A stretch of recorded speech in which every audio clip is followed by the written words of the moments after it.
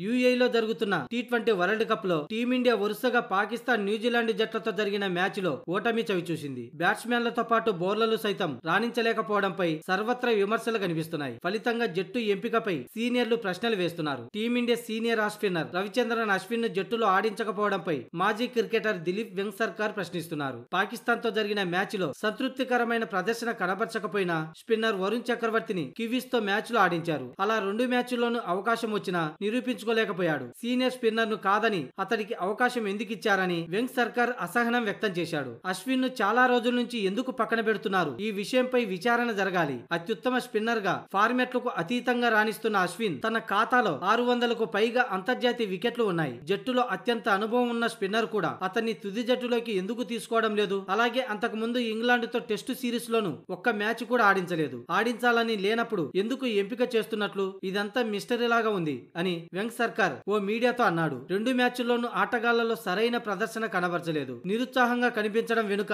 Bio-bubble కారణమా? గతంలో ఆటగాళ్ళకు ఇటువంటి బాడీ లాంగ్వేజ్ చూడట్లేదని అన్నాడు. ఇక పాండ్య విషయానికి వస్తే ఫిట్నెస్ లేకుండా బరిలోకి దిగుతున్నాడు. బాల్తో బ్యాట్తో రాణించలేనప్పుడు అతడి స్థానంలో ఎవరినైనా తీసుకోవచ్చు కదా అంటూ వెంగ్ సర్కార్ టీం మేనేజ్మెంట్ పై తీవ్ర విమర్శలు గుప్పించాడు.